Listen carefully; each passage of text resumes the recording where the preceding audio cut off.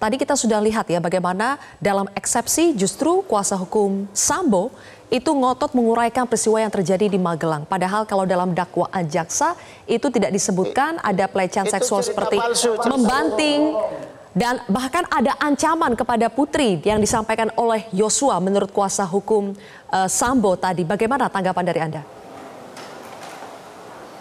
Tanggapan saya itu cerita palsu karena tidak ada yang melihat itu, tidak ada yang mengalami itu. Itu hanya ilusi daripada pengacaranya karena sudah bolak-balik ganti skenario tapi tak ada yang terbukti. Itu cuma skenario yang dibangun oleh pengacaranya. Itu bohong besar. Karena kenapa? Itu kan rumah kecil. Rumah kecil kalau dibanting-banting pasti ada yang mendengar karena di situ ada asisten rumah tangga namanya Susi, ada supir namanya Kuak Ma'ruf ada ajudan lain.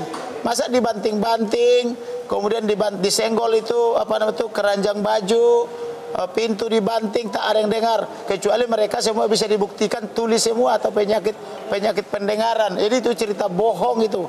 Kemudian kalau si perempuannya sudah dibanting-banting sudah mengalami kekerasan tak mungkin lagi dia rindu dengan prianya.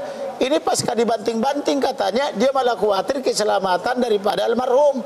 Ini bagaimana sih dicari almarhum di mana? Saya mau ketemu Joshua saya mau curhat. Loh kok udah dibanting-banting dipukul-pukul kok malah curhat-curhat seperempat jam? Kemudian masih menginap satu malam lagi. Masih dikawal dari Magelang sampai Jakarta. Eh, ini cerita bohong ini tidak benar. Saya pernah menangani beberapa kali perkara pemerkosaan atau pelecehan. Wanitanya menangis terus.